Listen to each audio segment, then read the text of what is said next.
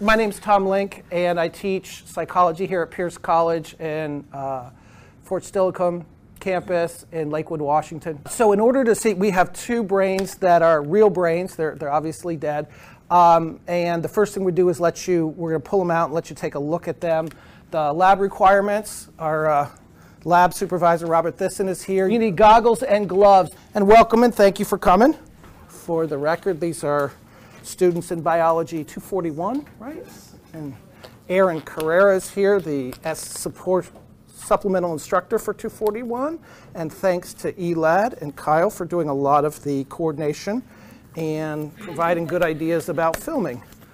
These are put in formaldehyde. These are one of the few things that are now still kept in, in, in, in formalin. Uh, some people have a formaldehyde allergy or reaction. Um, it's not the brain itself, it's the storage piece. You'll note that we're in here because this has a good ventilation system. If you've noticed a response to new rugs or new mattresses, those are the ones that usually off-gas formaldehyde. If at any time you, you feel it all light, um, you can step outside. And there's also an eye wash station right there, um, so keep that in mind. Um, so there are two complete brains that have been cut slightly differently. So this one is just in a left and right hemisphere. Um, and part of what we want to do is kind of dab it, and so that it's the formaldehyde that really makes it a mess. And then we want to leave it uh, over the, the trays with the, the wax. Um, over time, there'll be very little of the formaldehyde. You'll, so you can come pick it up. Notice to be gentle. Remember, it's hard to get new brains uh, these days. Are there volunteers? Ha ha ha. Okay. Um, but like this part here is only held on right there. It's not held there. So that's one to always sort of support like the baby's head. Feel free to pick it up, look around, look at it. You can, do we have the little uh, pointer and poker, the little silver? Okay. Oh, perfect. Right. Feel free to do that. You don't want to, you can see over time that it's, some of it's gotten a little chewed up from people being too forceful, but you can notice that there's an actual crease in there. Um, maybe lift this up. So feel free to do that. If you want to take What else? So you guys notice anatomical things. Anything else about the shape or structure of it that just sort of stands out? Maybe that's different than the pictures that you're used to seeing. Um, well, when we had the sheep, I don't know if it's going to be huge. I noticed a lot more of these running through it. Mm-hmm. And those are uh, nerves. Arteries and veins, actually. Good guess. The nerves, these are actually piles of nerve cells. They're so small. Yeah, it's a little. Sorry, it's. No, that's right. That's why we want to do this. If we do this and throw it away, it gets better over time. Thank you. Excellent. So these are actual real brain slices too. So this is the outside. So you can see it going in. The cortex or cover literally includes this, this, this. This is all what they call the outside. And you can see it here as well, folded in and out. You can see that this looks different than that. That's one of the things to know. The other one is the pons. I don't know if you guys would be required to know that. Mm-hmm. See how it's you can actually see the difference. So this is the first TED Talk I was ever introduced to years ago. This is Jill Bolte Taylor, and it's uh, she's she's a brain scientist. She she studies forget what exactly, and she studied it because her brother has schizophrenia and she wanted to understand the brain. So she has this personal professional connection. Then she has a stroke. And one of the thoughts, if you go into science, you will understand this. If not, just know that we're crazy. She's like, during the stroke, she's like, oh my God, I can't believe it. I'm a, a brain scientist and I get to see what a stroke's like from the inside. She has this stroke. Um, as you know, it, it causes physical issues. It causes, but for her, the stroke was on her uh, left side, which had, do you guys know this? I don't know how much function. You guys are mostly um, structure. Where does language get processed? Left side or right side of the cortex? Any idea? Left side. It, it, it's flipped aside. It's the, so the left side is more sequential. The right side is more all at once. Okay, so so she has the the brain here. So first she can't read words. Then and she's trying to she's trying to call her friend and she she has the business card. Then she doesn't recognize letters and numbers. The stroke, and it takes her about 40 minutes um, before she gets help. So her, her brain is, you know, uh, losing oxygen, and particularly the left hemisphere side. Um, so that's kind of a neat piece. Highly recommend that one. But here's the spinal cord. Part of this I mentioned because you can see some things are really easy to see in real life, and the, the pons is a surprising one, right? It's, it's obvious where it begins and ends, right? But the medulla, if there was a spinal cord attached, it would be right there. The medulla literally is sitting right here, and all it is is the fattening of the spinal cord. It's just more cells. Could somebody bring the one that's got, on the far table that's got the different animals? It's the tall one on the last table. Could you switch to the three brains? Well, Aaron will do it. The three, perfect. Can you thri- switch to the three brains slide then? So you guys probably learn them as like uh, brain stem, limbic system, and cerebrum or cerebral cortex. We also call them old brain, limbic system, and new brain, and that has to do with evolution. And, and the best way to see it is a medulla. Now, you guys are science people. You probably know what is a ganglion? What does that mean? This is where they meet. This is where they meet, like the coffee shop. Yeah, nice, excellent. Where a group of them get together, basically, excellent. Yeah, coffee shop's great because is a coffee shop, would you consider them a highly organized work team or just a bunch of people kind of milling about? Right, yeah. And so a ganglion, right, it's just a pile of nerves. And if we look at these, we get, um, we go, let's see, is the wording right? Can you read that or is it backwards? Fish, carp, Fish carp, Fish, carp, frog, snake, snake, pigeon, pigeon. Rabbit. So if we just take, now the funny thing about this, it takes a while, the eyes are the biggest, right? The eyes are bigger than the brain. Our eye would be right about there, you know, it would be about, let's say, about the last digit of my finger there, last part of, last what do you call joint. Um, so when we call it old brain, it's because if you want to diagram like a fish brain or like, have you ever done worms? Yeah, yeah, it's pretty simple. It's like one band of cells. And as we start to move to reptiles, is the reptile, right? It just becomes a pile. Is there much differentiation in there compared to the rabbit or the, uh, here's a sheep brain, a real one. How much, how many different kinds of parts can you see in the reptile brain? I mean, there's clearly a pile, right? There's clearly a coffee shop. Not much, not much. It looks like one big blob.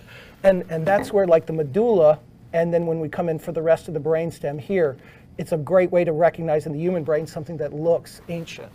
Perfect. So we call them, so brainstem is the more um, uh, medical term, or and then the cerebellum is part of it. The reptilian brain for the evolutionary words, so mammalian and new mammalian or human, and sometimes old limbic and new. What's amazing when people teach you the brain, you know, in TED talks or wherever, they they almost always talk only about the limbic system in the new brain. So if you get this, you got like 90% of what professionals are teaching you about how we learn based on the brain, which is useful, but is but I think we can go beyond that, and I think we even will today. So this helps us see. So the reptile is like this. You see the rabbit already, even though it's teeny. Can you see a left and right hemisphere? Mm-hmm. Right, and if we could, somebody bring that one over and just put these next to, to represent the brain. So you want to hold one of them, and then you hold the other. I don't care which direction. Perfect. So you see the left and right hemisphere, and it looks in some ways similar. You see some folds already there, and a little bit more. And then here, if we have the sheep, we begin to see some, say, human-like or new mammalian. The other piece, watch if we fold, let this fold over. So that's the cerebral cortex. Cerebellum in Latin, probably, maybe Greek, probably Latin, means little brain. It looks like it's by itself, see, because it's hanging out like that, right? Which we have to be careful. It's attached to the brainstem only. It, it looks like it's in every model. If you look at the plastic model, they're glued together. It's one of the biggest. Now, if we compare, obviously the human brain is larger, but now specifically compare the size of the cerebellum to all of this cortex. And you can step away if you need to set that down. Um, I mean, you just look like you, you don't have to step away. Sorry, no, I know. It's No. just a long bar. Yeah, sure. And, and if we just, uh, if somebody wants, we'll, we'll dab a little bit, and then here, somebody, somebody beside you should dab and throw that away, and it'll, it gets better because the ventilation's nice. If you take a step back for a second too. it'll- Yeah, there you go. Yeah, yeah, it's almost worth the nudge. Me too. So, cerebellum to cerebral cortex. Cerebellum to cerebral cortex. Does the ratio look the same? No. Which, which one has a bigger cerebellum, a bigger sheep does? What are sheep good at? Not, and if we go sheep, I'm going to extend sheep, deer, um, antelope. I don't, know, you know, others. Huh? They're good at herding and surviving. And think about how they run. Goats are another great one, right? Do they, when they run, can they run over rocky soil? Do they have to look down? When you hike over a rocky thing, oh, here, have a towel. Unless you want to stand there and, like, I'm sterile. Okay. No, it's all good. Um, they can do this automated mu- muscle movement is, is primarily down here. Now, everything we're going to talk about in a minute or two is about pathways. A lot of people, particularly starting in the early 90s, when the most um, a big wave of, of new antidepressants, uh, Prozac, Zoloft, Paxil came out. They had a belief that it was a it was so precise. One brain area did one thing. There was a depression area. There would be an anxiety area, and it, it really doesn't make sense that we're going to talk about pathways. So, with that in mind, a, a key part of the basic movement pathway is, is through here. It's not the whole thing. There's a piece that starts up here, it comes down here. If you've heard of the striatum, it's in there. But this is a nice piece because it coordinates a lot of that stuff. For you, if you're if you're walking, do you have to think about walking? If you've seen a 16 month old, do they think about walking? Watch their eyes, they're really thinking, right? They're wobbling and doing this, and usually your first step is like you fall and catch yourself. So that's going to be for them, you would see more activity up here in the motor cortex, and that for us, it slowly manages here. If you've learned a sport or dancing, or maybe even some uh, lab skills, right? The first time you're doing things, it's it's going to be awkward. How do I hold this? Something falls, right? But over time, hopefully, you know, what, when you're applying to graduate school, you'll be like, you pick up the tools, and now you're just thinking about what you're going to do with them. You're no longer thinking. That pattern of activity has started being a lot more activity up here, and it's slowly there's a package of activity here. This is much better in terms of working your body because it's closer. There's amazing, surprisingly, the speed and, and the complexity matter. Again, if we think of this as the spinal cord, if anything wants to get to the spinal cord, it has to come down through this way. It has to go through the brainstem. So, although the brainstem is the least thinking, most instinctual, it also is the first response. If we think about the, so now we take this one, which is surviving. Psychologists don't talk about this a lot, except as how it executes the stuff up here. This is surviving movement. There's stuff in the medulla. Like if you have um, a, medu- a brainstem stroke, you'd say, are they conscious? Are they breathing? If they have, like she had a stroke up here, you say, can she talk? Um, is she making sense? Does she know where she is? Right? If it's a brainstem stroke, you start thinking, if it's your grandma, you start thinking, can I get time off? Because it might be the last visit, right? Whereas up here, it's not right race to the hospital you got a little bit more time so time and it's because it's literally if you just go closer to the spinal cord quicker first second and third. Now this one needs this diagram. This we're good. So the limbic system and this is one of the hardest ones to see. So there's the limbic system which is in the middle. And this one actually has the thalamus. You guys heard about the thalamus yet? It's the easiest one to see. It's this big thing. But when you take it out oops let me try to show yeah, we'll keep that in. The thalami look like two big walnuts. There's one on each side. The, the, the limbic system comes around. It's not technically part of it, but it's, and then we have the cerebral cortex. Now, when I taught these diagrams and the one you usually see in psychology for about 15 years, I thought the limbic system was inside, not part of the cortex. It's actually the inner part of the cortex. Now, can we get the other, get that one over here, because that one has a nice slice this way. And then we want to go to there's one with the two little heads. That, perfect. This is Wikipedia. Three dimensional. Have you seen these? These are great. Wikipedia. Three dimensional, and you can get them for almost every area. So you notice again how they're in the middle. So this one's more of a bulb, and the hippocampus is literally like right, this is the hippocampus, and the amygdala's in front of it. Okay, so now go to, I think, the next slide, and we got this one. So these are useful because they cut this way. And you've learned coronal, sagittal, and blah, blah, blah. Okay, excellent. Um, this, this, and this. Because here's the thing some of this knowledge you'll use in the lab, some of this knowledge you'll use in the emergency room when your friend is just wiped out from snowboarding or, or uh, parkour or whatever it is they do that hurts them. Oh, you, you know what it was eight, ten years ago? Heelys. So many, right, injuries that uh, friends of mine who are nurse practitioners and doctors are like, God, just full of that. So, you know, you can memorize the terms and that's good, but you know, the part of your brain that will be working in the emergency room, if it's your friend or your mom or your kid, right, will not be the cortex first. It'll be the limbic system first. The limbic system is more, okay, so physically, So first you can see what's cool here, pointer. Um, thank you. Look at both point. Point this out. Here's the thalamus. It's easy to see. It's a nice big fat one. The thalamus is right there. There's some of the uh, basal ganglia below it, but the thalamus is there. Now notice that although it looks like just a fat solid mass, it comes out here, comes out there. So if you want to see the lobes, right, you had to learn temporal lobe, frontal. The temporal lobe, the brain's thumb, although it looks like, see, from here you can't tell. You go here, this all is clearly coming out that way. This one's coming down and like that. Huge difference. I, I can't do this because again, you do that once and your brain's ruined. But uh, you can see the difference. The limbic system is actually part of the cerebral cortex, particularly the hippocampus and amygdala are this part here. This is more hippocampus because we're where we are in the brain, say right here. Amygdala is going to be about there, and I think I have. Oh, perfect, excellent. So this is um, about six or there's about nine slides from front to back. The amygdala, these are slides two and three, so it's right near the front. You can tell because you see no cerebellum. You'll see cerebellum and spinal cord in the other ones. Um, the thalamus. Oh, you know, I brought a pointer. Is it in my bag? There should be a little pointer with a hand just for that purpose. Excellent. Eh, Excellent. Thank you. This we can clean. So there's no cerebellum or spinal cord. Again, you can see really beautifully this piece here. Now, the amygdala and these two pieces, get out of the way. Ah, there's my head. You can see it's kind of like a ball.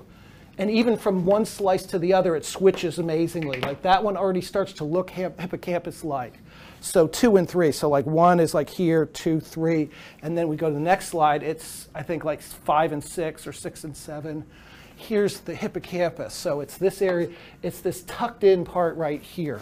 And so, what is that there? Let's see if we can remember that. And so now we can see it in here. And it's really, it's so interesting. So the hippocampus. Well, here, you tell me. You saw it there. Somebody want to point? We got two pointers. Where do you think it is? Hold it. You get two shots at it, one for either side. That's kind of basal. Go out more. So remember, it's. You, one of you hold that one. Thank you. Okay, you keep pointing. So remember, this is the. See, this is. Uh, this is all wavy and curly, or like spaghetti, and this is solid. So this is actually either thalamus. I think that's thalamus, and below that would be basal ganglia. But it's going to come out here, and then up and in, curled inside. Yeah, hold there. You go. Yeah. Oh, here, it'll be help if you hold it that way. Come down that way, and then up and inside. That's outside. Inside. Inside. So it's right up in, right in that area here. I know it looks, and this is the thing. If you each slide looks different, that's why I picked out a bunch of slides. So those are the best. This is just where somebody cut a brain, right? You know what I'm saying? So it becomes more of a, a ball-like thing towards the end, but it's right in there, and you can see even on left and right are different. See this right here, this whole business up in here, right? So the, so the hippocampus and amygdala are part of the limbic system on the lower inside. If we look at the rest of the limbic system, it's basically, that one's really chewed up. This one's a little better. Let's see. So I tell you what, you tell, I'll show you and you tell me if it's better. Um, and so we want to get it on this side of the tape roughly. Keep moving. All right. Uh, oh, this is nice. So this is this is the most chewed up corpus callosum right there. God, that barely looks like it matches, but it does. This is really chewed up corpus callosum. But and and so the corpus callosum is the one that runs left to right. And that's why I said it's easier to see. When when people see the normal drawing that like this in psych books, the corpus callosum just looks like a, a I don't know, like a piece of uh, piece of Play-Doh that you rolled into a snake. Oops. But what it really is when you see it here, and that one's, so if we could keep it all there, right? It, it runs this way and it runs from the center of this side to the center of the other side. These are a little beat up. It's a good reason to do it on tape, right? I hope it's, it wasn't this beat up 20 years ago. But so, the last time we cleaned out the tanks, right, there was there were little bits of brain floating in it. Um, just saying. So this fl- and this is where nerve cells travel the fastest in the brain, right? It's literally the back and forth. So we talk about the left and right brain. We're really talking about the left and right cerebral cortex. But unless you're unless it's cut, your corpus callosum is cut, which only happens as a last resort in uh, epilepsy. Um, it's so fast that you don't experience it the way people say, oh, left-handed people are in the right side of their brain. Well, we're talking about like for milliseconds, and then the information's back and forth. Above that, here, so this, and this is why I think I was showing other people, just some of you, but I want to highlight, so you can see, can you see the color difference? And each one's a little, let's see, those are pretty good, right? What is the, where are the dark, and then you can also see it well here in these slides here. Is this, let's see, I think this will get the camera too. So can you see how it goes dark and light, light and dark, light and dark? So when we say cortex, which means cover, it means the outside of the cerebrum. But because it's folded, and it'll be really important for pathways, the outside is actually all of this and this and that, all of this darker stuff, what they call gray matter. You learned gray and white matter? All right, there's a gray white matter slide after the amygdala ones. Um, the outside is really all of these outsides, and really this inner part is outside. You see, this is gray.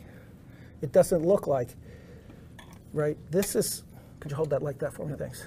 And then you put your hand under. it. Perfect, thanks. Right? This is inside, but this is outside, that's outside, this is outside, that's outside, inside, outside. That's more complicated, right? But here, this is actually outside. What they're trying to do is get a lot of lines going in the same direction. Uh, have you ever seen the movies of like um, cars go, going through a crosswalk in like 1900 where there's like 15 cars going from every direction just randomly? Yeah, imagine if your nerve cells did that. How would your, what would it look like? You'd have a lot of activity. High five in the afternoon. Thank you. I five at the 16 interchange during construction, right? On a rainy night with a little fog, right? Perfect. Yeah. But again, get rid of all the signs. Have have people going at a direct 90 degree angle across I5, right?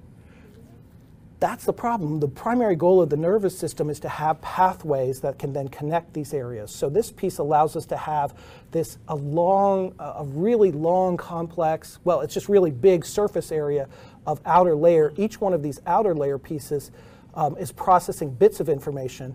The white, this is white matter, which is now white plus formaldehyde or let's say tan. I don't know. Um, and I think one of these has it. Let's see. Yeah, that's a diagram, and then this is um, this is also, but this has also been killed and preserved. I don't know. You probably don't say killed in biology. You probably say something more sanitary. But again, you can see the outer layer, outer layer, outer layer, and that these. And you can even begin to see the lines here. You won't see the lines here. These nerve cells are very, very short, and these are mostly long. These have a lot of axons, and the axons are. Uh, are what's the covering of, of, of axons? Myelin. Excellent. What does the myelin do? Speeds up. Speeds up, right. Yeah, excellent. Like coating a wire. Like you could leave wires across, but again, yeah, like the, like think about the coffee shop. If, if everybody's just randomly sitting and there's no lines, right? People are bumping each each other, coffee's getting spilled. Wires are leaning across each other. As far as I know, they can, they can jump. So the, um, the, the gray matter has very, very short axons that are unmyelinated, and it is actually the myelination that causes the change. You can see if you look online, some they can stain the myelin, and you guys know more about staining than I do, to make it different colors for different purposes.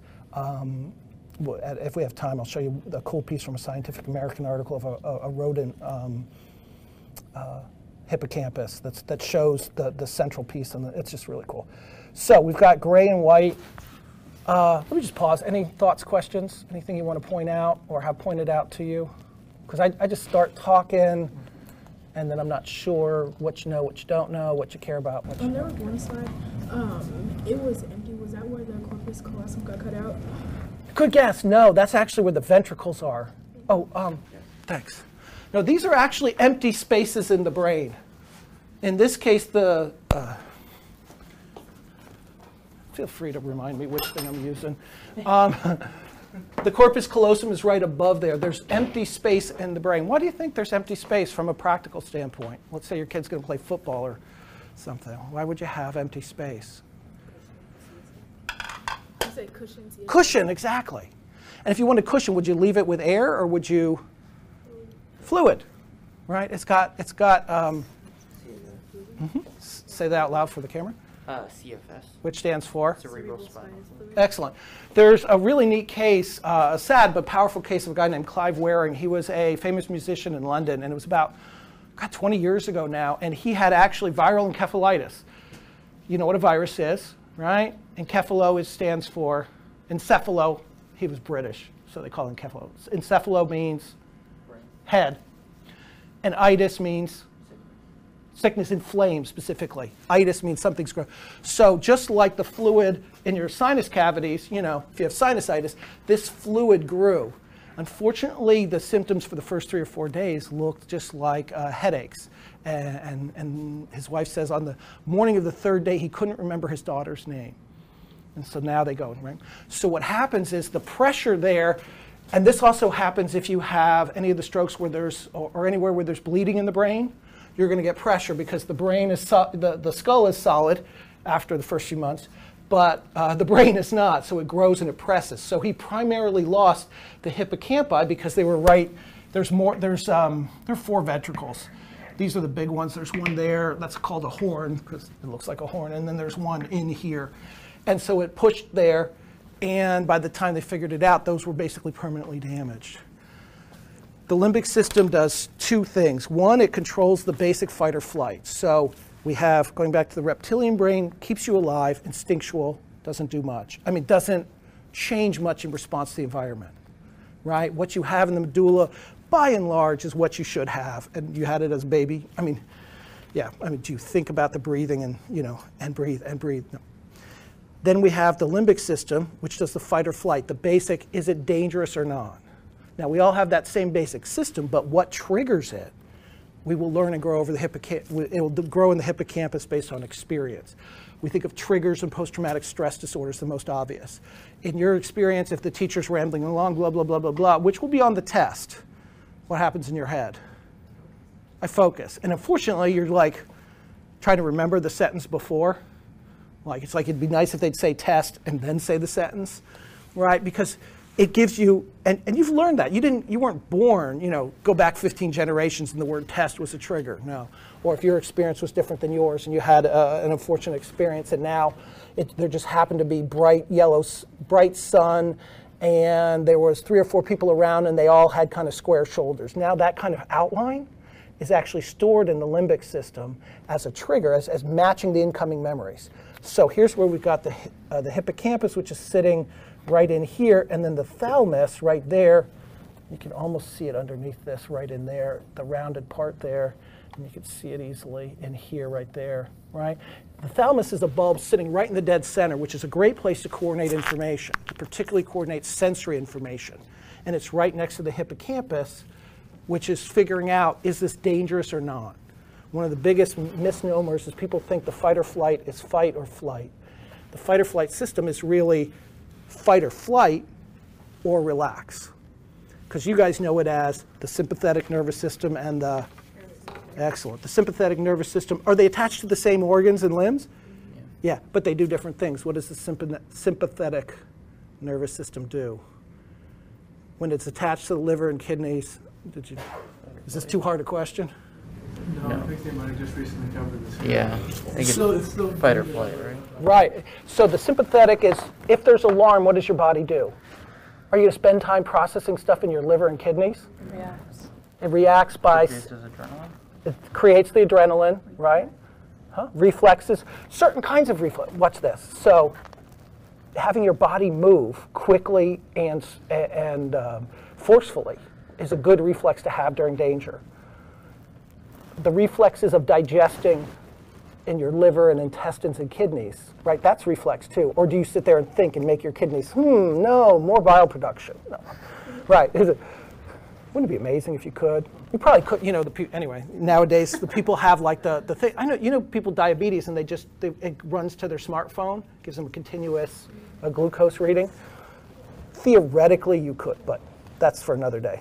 Um, So if the fight or flight is activated, what it does is it stops your internal organs from doing it. This is why animals poop and we just feel congested. Yeah, that's right. Uh, there's, there's a joke about a captain with brown pants, if you know that, uh, and red pants and brown pants. Uh, but, uh, but you stop digesting. This is why they say don't go swimming right after you've eaten, because if you get nervous, you do the muscle movement, if you cramp, you could die. I mean, you shouldn't run afterwards either, but you stop running and you're on ground, so it's not as critical a situation. So, the limbic system, if it signals sympathetic danger, either fight or flight, which are both responses to danger, it's we stop doing the gut stuff, liver, intestines, kidneys, etc. We send off the adrenaline from the uh, uh, adrenal glands, and it sends all of the body from the from all- of the energy from the blood system away from there to your outer limbs, so you can move and do stuff here. So you have those reflexes, but your reflexes of digestion are poorer. And one of the things Western science is great at is, is discrete injuries in little areas, but what we're not good at is systemic ones. If you undergo regular stress, think about the pressure it's putting, and you're starting your digestive system and stopping it, starting it and stopping it, starting it and stopping it before it's finished. You know, if you stop the washer or the dishwasher mid cycle a bunch of times, it's not going to go well, is it? That's the kind of piece. So sympathetic says take it away from the major muscle groups and put it back to the ongoing maintenance features. In addition to liver and kidneys, I'm sure white, white cells and other things like that are happening, but you guys will know that better than I, so I will leave that to your expertise. So the limbic system is right next to the thalamus. The thalamus helps organize the sensory areas to say what key features. Because the limbic system, although it can learn and respond to the environment, it's simpler than the, the cortex, right? It's quicker than the cortex, but simpler. If you know test anxiety, same thing, right? If you read the first question of the test and you're like, which you shouldn't do when you're breathing formaldehyde. That was, that was a poor choice. You'll finish the lecture, right? I pass out. Um, but, right, so that's your limbic system saying danger, danger. The problem is all of the knowledge that you learn in college is here. What one woman, um, Dr. Nadine Burke Harris, and she's talking about ACEs and chronic stress and the impact on the brain. She says, you know, that's a great reaction if you're in the forest and there's a bear. What if the bear comes home every night? What if the bear is your father, your teacher, or people in the neighborhood? Right? That's it's being triggered on an ongoing basis. The limbic system is being triggered, and the amygdala. The amygdala actually sends the signal to the to the um, um, to the adrenal glands. The hippocampus is the one that stores those basic memories. The second thing it does is actually serves as a pathway because it's right here. If you're going to make memories coming out to the memories in the other areas. And this is the complex thing about pathways. Let's see. How's that? I don't know. There's, there's different places I could go. Questions, thoughts, examples? Okay, we'll go pathways. So go to that red one first. So if it's white area, thank you. Give me a high one. Thank you. Excellent. Okay. If it's like this, it's going to be it's going to be myelinated, so it's white matter. And these are just this is back from the uh, uh, Gray's Gray's Anatomy back from uh, 1917, which is uh, out of copyright, so it's it's free to use. It's just gorgeous, and if you look at some of the original drawings, it's it's beautiful. It's you know, I went to a neurologist, a guy, uh, a physiatrist, who called. He had pictures of the Gray's Anatomy on his. Th- he called it a love story you know that's you so now notice how it's also going. So this is the uh, it's going into the little nodules there. This is the gray matter right? This is the outside outside outside because it's curving around. This is taking the product so you're going to organize some information in there take it over here. Now it takes that information that's also coming from here sends it out there. So once it gets over here maybe it joins this pathway starts going there and there. So when we talk about anything that's really interesting and relevant we don't want to talk about am i a limbic system person or a cortex person? We talk about what's the conversation between the two. To make it more complicated it's the one with the really complicated one. Or actually uh, at the with all the colors near the end Oh, back two, three. There you go. I just made this last night finally. I've been trying to put all the areas to think about. So these are different areas on the outside. These are some. These are the the. This is the key limbic system areas, the hippocampus and the amygdala. This will be important to say. So, but just to show you a bunch of different areas, the senses are the most obvious, right? We have if you move, it's this. If you touch, it's this. The amazing thing is that they're, well, it's kind of cool that they're next to each other. So, like the face is right about here. So, if if you want to move your, if you want to smile, maybe you move right here. But if somebody pokes you in the lips for some weird reason, you would feel it here. So there's a parallel. Then they have this area that's about planning to move, where you imagine. And if you've ever done visualization in sports or arts and dance and stuff, that's where that happens. Some of the neat research on that is a, called something called mirror neurons, where if you're planning to move, partly if, so one monkey is watching another monkey. And when it's, it seems before it moves to do the similar movement, you see some activity in there that seems to be matching and is trying to imagine itself doing. So this kind of learning and modeling, and maybe even a beginning, a rudimentary kind of empathy. If I can literally walk a mile in your shoes, to pardon the, the pun, that would be happening in this area here. On, on the left side, for almost everybody, not everybody, it's complicated. We have the speech areas, and they're in variations of green here. I want to separate that sound is processed, and then speech is next to it. Turning sound into speech is a big deal. Turning, there's a separate place just for if you're reading. Yes, ma'am. Hey, Faith, right? Yes. Hey, your inner voice come from? that's gorgeous. That's a gorgeous piece. Excellent. So, if you wanted the center of the pathway, it, it would be here.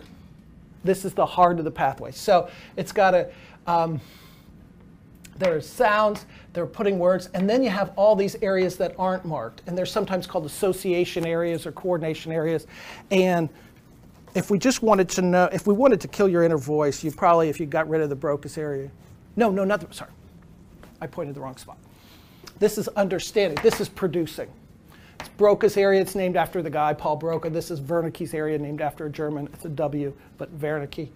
Um, so it would be, if we wanted to destroy it, if you got rid of that, and I don't know, there's a guy named Oliver Sacks who has interesting cases. And he, and he gives an example of Broca's aphasia and Wernicke's aphasia. But I don't remember him saying that about it. The guy with Broca's aphasia, he could understand what people said, but he couldn't say stuff. So imagine how, how like trapped in your mind you are, right? Because you know it makes sense, but when you say stuff, it makes nonsense. One of the things that he was able to do was sing. Because sing is more pattern, right? Language is sequential. You can only say one word or sentence at a time. But art and math is, is, is, is uh, you represent a whole set of things at once. Like if you look at a picture, if you're identifying, oh, there's a chair. Oh, it's this kind of this. Oh, I recognize this, this kind of br- stroke work. That looks, I don't know, early French period, let's say, of something. Um, that's all sequential. That's more left brain stuff. If you look at it overall and notice what kind of scene it is, notice the mood, notice the, the set of things that where things feel they go together, that's more of a right brain thing. So sequential word after word, that's probably in the Broca's area. But the content of it is coordinated from all the other areas, right? The content of it is organizing and doing the pieces. So if you had damage in, in some of these areas here, or here, or here, so remember the hippocampus is on the inside, some of the memories, particularly that are stored um, short term, like a few days, what, you know, if you have a, um, if you get a concussion, right? Anybody had a severe concussion? No? Well, good for you go play football, you know, Heelys, you know, uh, dirt bike racing. Most most accidents per time spent in a sport, more than football, should you choose. You know, a lot of broken bones.